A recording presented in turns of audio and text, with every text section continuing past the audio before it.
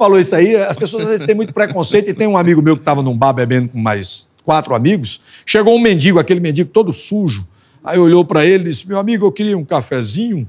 Aí ele disse, que cafezinho? Rapaz, a gente tá tomando cerveja, eu vou pagar uma cerveja para vocês. Não, não bebo não, só queria um cafezinho. Disse, rapaz, tu não bebe não? Então vamos jogar um baralho aqui. Disse, não, não, também não jogo baralho não, só queria que o senhor pagasse um cafezinho para mim.